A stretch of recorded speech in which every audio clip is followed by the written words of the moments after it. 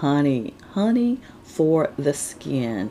Dating back for centuries, honey is an age old beauty secret. It contains natural minerals, amino acids, vitamins, all of those making it an important skin care ingredient throughout history. Honey can be applied directly to your skin to help heal and moisturize.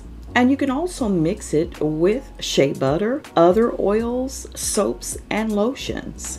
The great part about honey, it is non-irritating and should be safe for even the most sensitive skin types. Honey offers a stimulating and toning effect to the skin and is known as a natural humectant. That means that it retains moisture. Honey contains innate properties that nourish the skin and moisturize, leaving you with a soft, smooth, and radiant appearance. And another great thing, honey has significant natural antioxidant and antimicrobial properties.